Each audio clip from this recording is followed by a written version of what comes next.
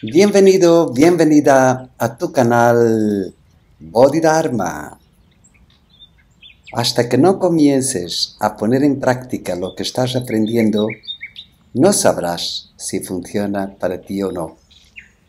Quizá les funciona a otros, pero ¿y a ti? Recuerda, no puedes ponerte a la sombra de las profundas experiencias espirituales de los demás. Puede resultar de ayuda leer respecto a ellas, aprender de ellas e incluso oír hablar de ellas y comentarlas.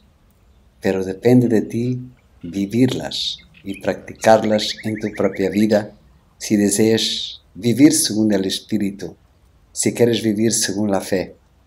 Nadie puede hacer eh, que sigas en esta vida.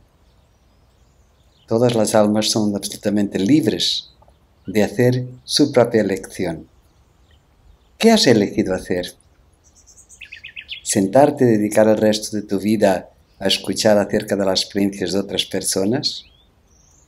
¿O vas a empezar aquí ahora, en este momento físico, presente físico, a llevar una vida completamente dedicada al yo soy poniendo en práctica estas lecciones maravillosas que has estado aprendiendo y viendo cómo de verdad funcionan?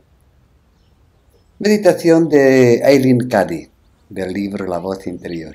Y ahora una afirmación de Louis Hay.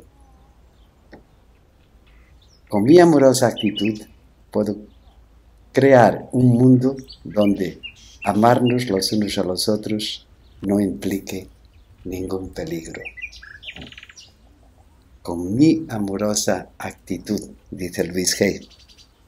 Porque cuando tenemos muy claro que nuestras acciones no perjudican a nadie, que somos impecables, que no funcionamos con interés, que no funcionamos con inconsciencia y que no funcionamos con miedo, entonces realmente vamos a beneficiar a los demás.